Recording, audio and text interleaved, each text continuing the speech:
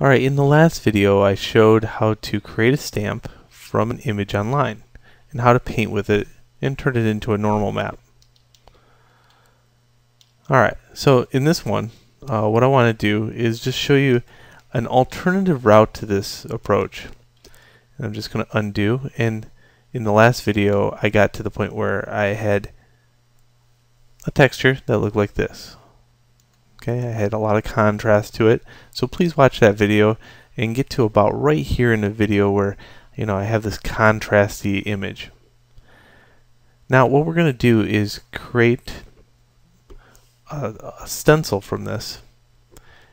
Instead of having a stamp, we're going to use a stencil. And we're going to actually make an a hybrid between stencil and stamp. So I'm going to save this out. Um, I will call this Scratch 5.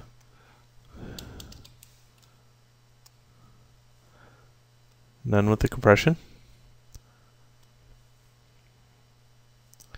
I'll bring it into Mudbox.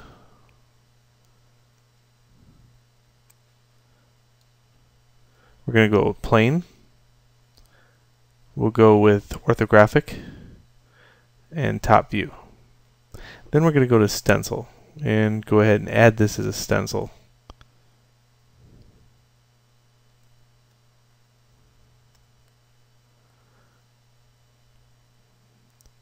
Okay. This should be my last one. Yep.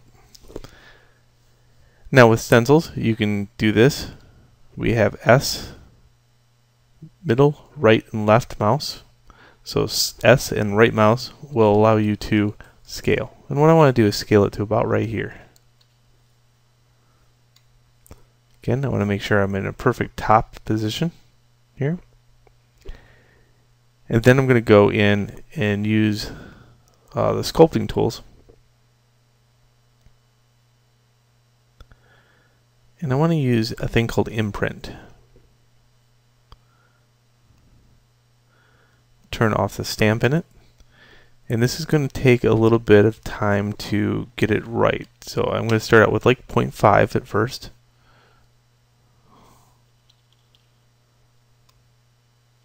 Make my brush just a little bit bigger.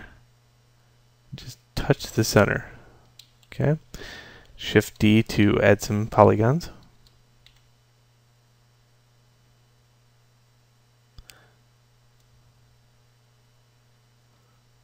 Pretty good.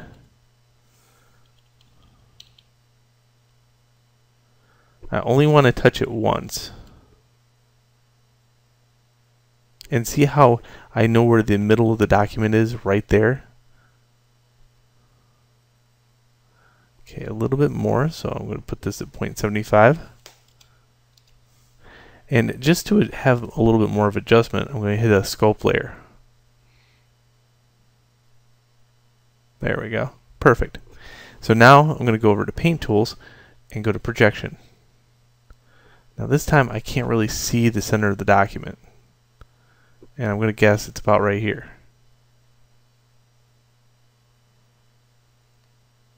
Hit OK to that information.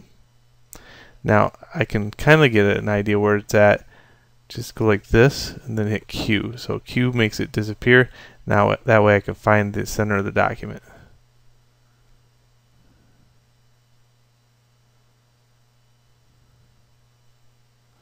So I'm wiggling it around until it bleeds out to the outside edge. Just like that. Okay, hit Q. So now what I have is height information, I have color information, it's all in one package. Just needs a little bit more in that corner right there. There we go. It'll bleed off uh, based upon the height. Well, what I've made is a hybrid a super stamp. So viewport filters, turn on screen distance and you'll find that I have both height and color.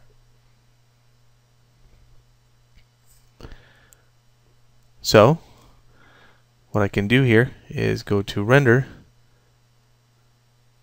save screen image. Now I want this perfectly in the center. Um, how I can get away with that is like this. Display frame selection and then take the wheel mouse and wheel in. Now it's perfectly in the center of the document. Now I'll render the image and choose 1024 1024 and there we go. I'll save that image out and I want to call this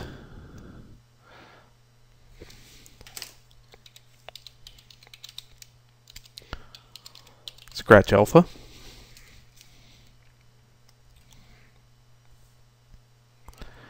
And then here I have um, my viewport filter.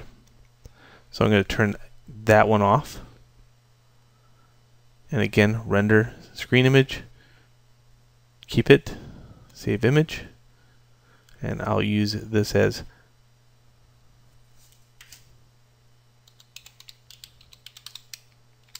color map. Pure TIFF.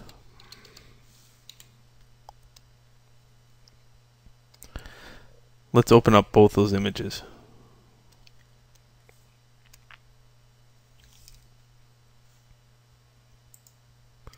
Okay, this scratch color map, I want to be able to duplicate this over and I want to duplicate it over to Scratch Alpha.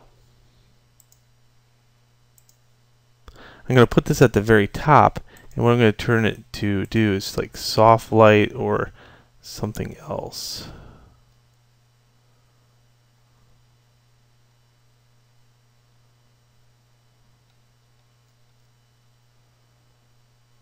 maybe luminosity. Now I'll drag this to the very top and uh, what I want to do is kind of use this to cut away at the other one. Now this is going to be a little bit difficult because it might not work. So uh, holding control, I can get a hold of the information.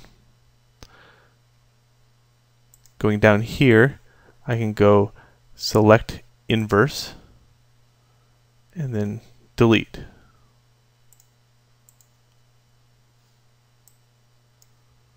Okay, let's see what this looks like. We can hit the plus, go down and fill a layer with black. That's what my brush looks like. Isn't that cool? Yeah, that's cool. That's Academy Award cool. Okay, so let's go like this. Control E. There we go. We have now our super stamp. And I'll save this as, this is the one I want to keep. Um, I'm going to put it in my directory program files and go into here to Autodesk, Mudbox 2014, stamps, and I want a TIFF. I'll call it Scratch Alpha because it sounds cool. And there we go. Now let's get into a Mudbox uh, that doesn't have that in there. So this one maybe. New scene, don't save. Cube, Shift D. This time remembering to add the polygons to sculpt on. And then hit the add stamp. There's Scratch Alpha. I don't want that. Let's go to sculpt. Again, I'll add a new layer here for sculpt. Here's Scratch Alpha.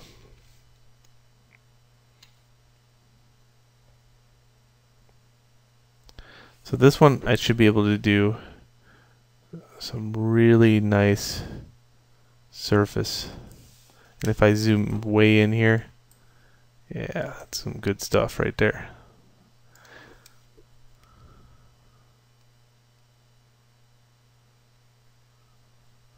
And it's also going to be good for painting with. So let's go to this side. Let's grab my airbrush.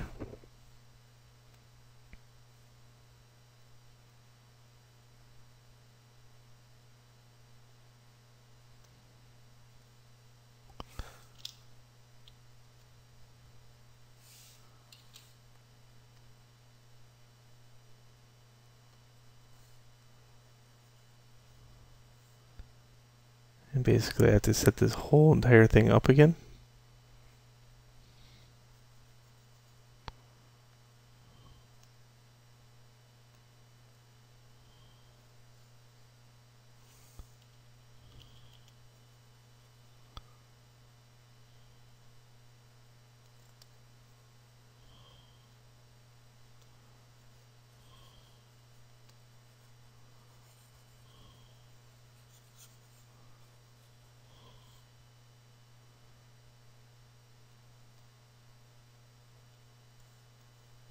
So I'll keep doing that until I get some clarity in the map.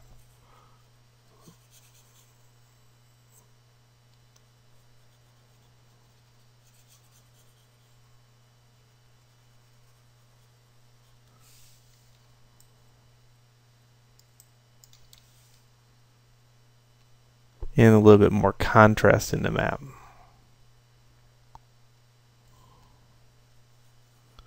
So there I have the clarity and the contrast.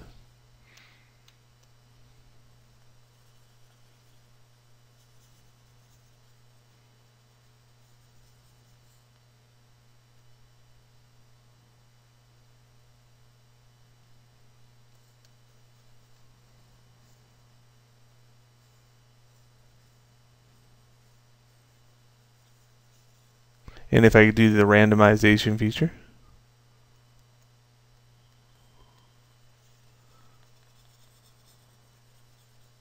Very cool. So that's creating like super stamps. You be the judge of which one you like better. Um, I do like the other one just a little bit more sometimes, but and this one did turn out okay. But you still have to do that whole uh, make a bump map thing. This is a lot nicer to sculpt with, however, because it has nicer depth information to it.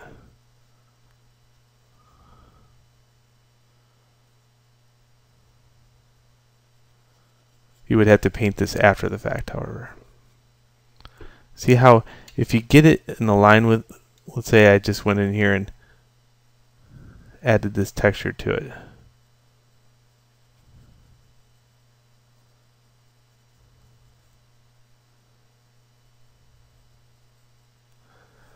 That looks okay, but you would have to generate an ambient occlusion map in order to line the two up contrast-wise. Alright, so there we go. So that's one another way to create a stamp. I think that's the last way to create a stamp, to be honest with you. So now we'll look at uh, the stencils.